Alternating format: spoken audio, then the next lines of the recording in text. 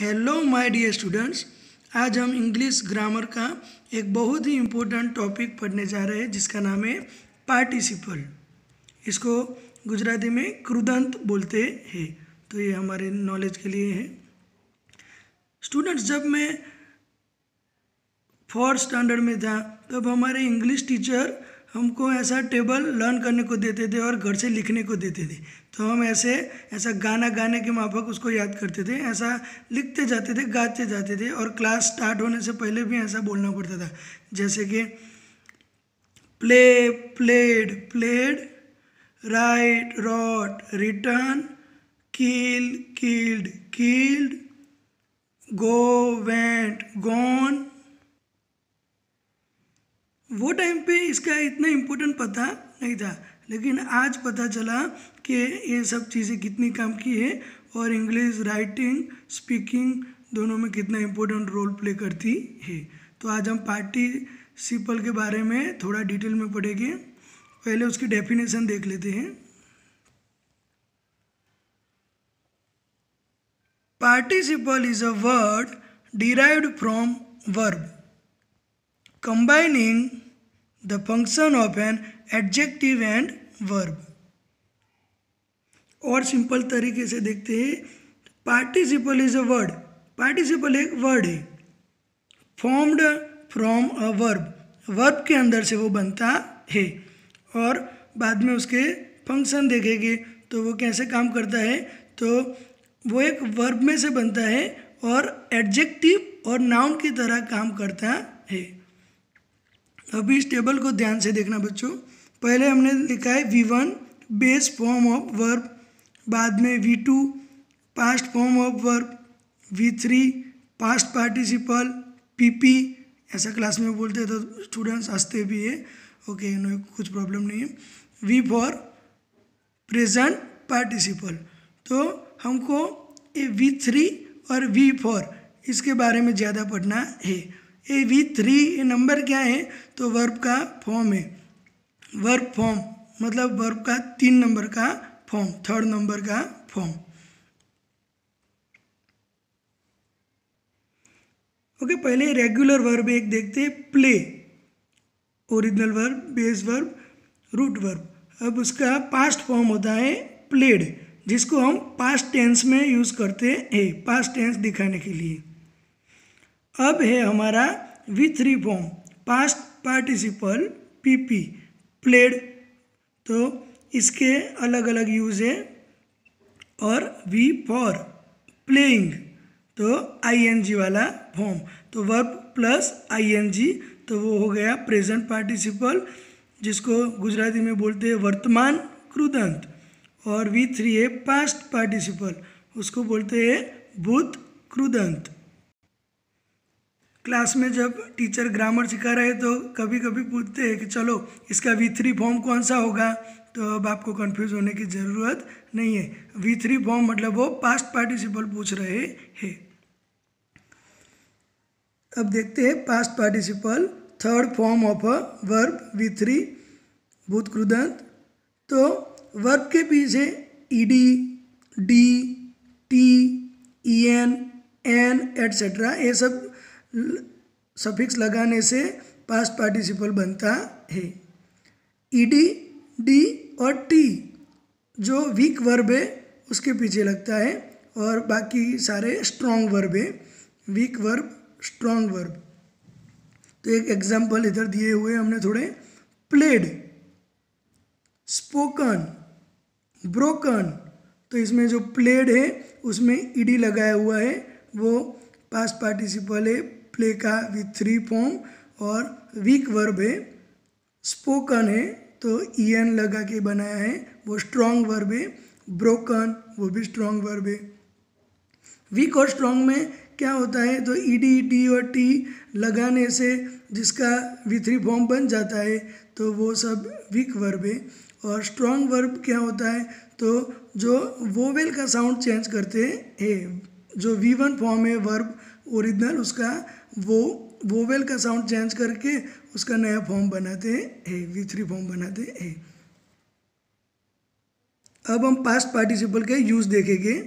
Used in all the perfect tenses as it denotes a completed action सभी perfect tense के अंदर we three form use होगा, क्योंकि वो एक कंप्लीटेड एक्शन को डिनोट करता है।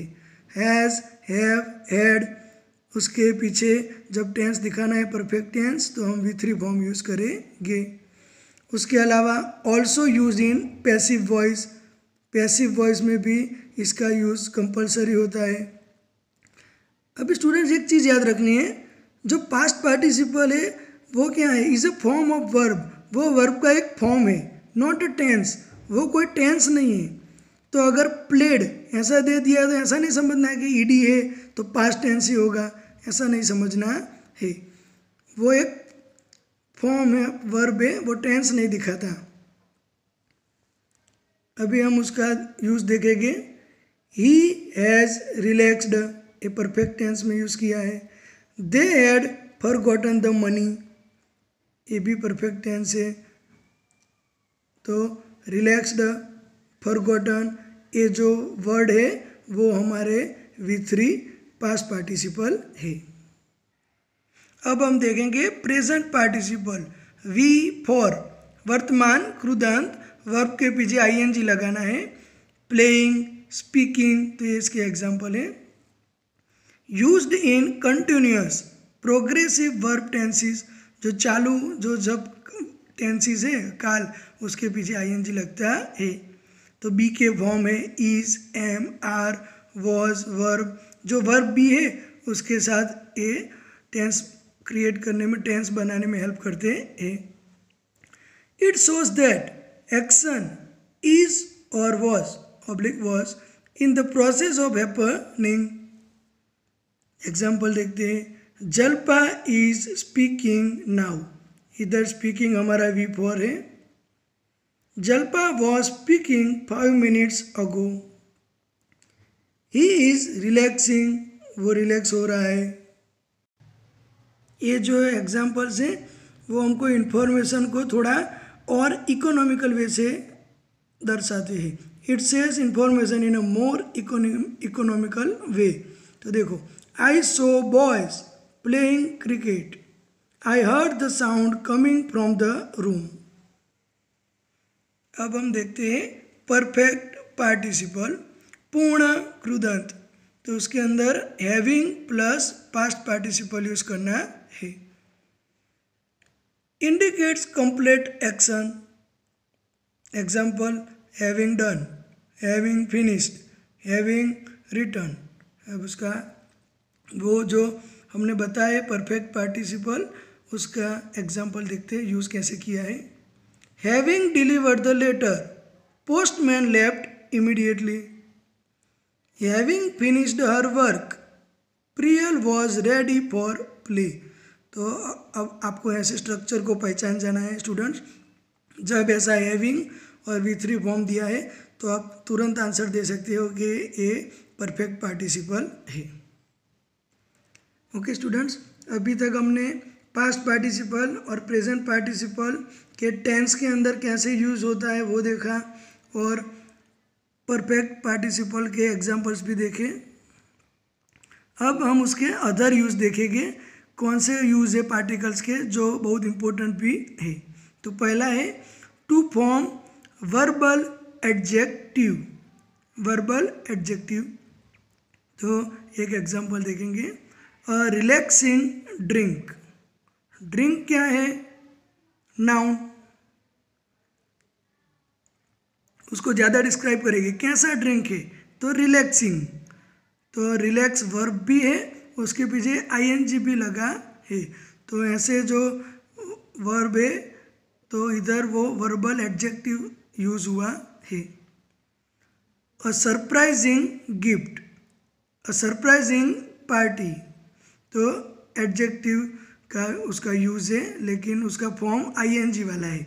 मतलब एज अ एडजेक्टिव पार्टिसिपल का यूज़ हुआ है। द मूवी इज़ इंटरेस्टिंग तो देखो इंटरेस्टिंग आईएनजी वाला फॉर्म है तो पार्टिसिपल है, और हमको एज ए एडजेक्टिव दिखाया गया है कि मूवी कैसी मूवी थी? तो इंटरेस्टिंग मूवी तो वो एडजेक्टिव हो गया।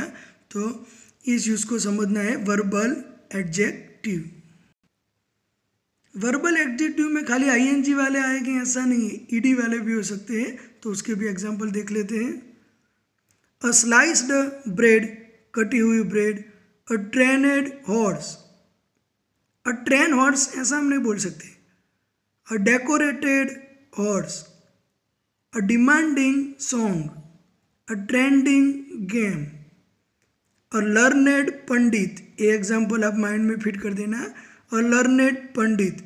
अ लर्न पंडित हम नहीं बोल सकते। The seeking minarets. तो ये सब उसके एग्ज़ाम्पल है। Rotten teeth.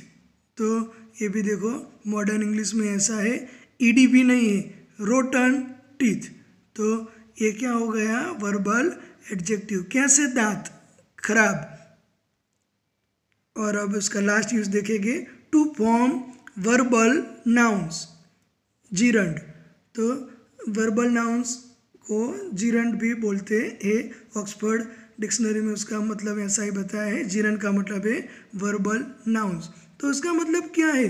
तो अभी हम समझते हैं, देखो, इसका एक एग्जांपल देखते हैं। I don't want your blessings तो देखो आई एन जी वाला फॉर्म है। तो इधर ब्लेसिंग तो ब्लेस मतलब आशीर्वाद देना। लेकिन इधर ब्लेसिंग से एज अ नाउन यूज़ हुआ है। एज अ वर्ब यूज़ हुआ नहीं है एज अ नाउन तो उसको वर्बल नाउन बोलेंगे जीरन बोलेंगे। और दो एग्जांपल देखते हैं। Smoking is injurious to health is इधर मिसिंग है सॉरी तो इधर smoking as a noun use हुआ है। Smoking as a noun as a verb use हुआ नहीं है। लेकिन उसके अंदर वर्ब तो है ना smoke plus I N G तो इसीलिए इसको वर्बल नाउन बोलते हैं, जीरन भी बोलते हैं। Walking is good for health तो इधर वॉकिंग है, वो पार्टिसिपल तो है, लेकिन as a verbal noun use हुआ है, जीरन यूज़ हुआ है। She is afraid of flying okay अब one more thing participle clause में भी फिट होते हैं तो क्लोज में हेल्प करते हैं तो ऐसा पार्टिसिपल क्लोज बोलते हैं। तो ये देखो, एक एग्जांपल देखेंगे तो पता चलेगा पार्टिसिपल क्लोज किसको बोलते हैं।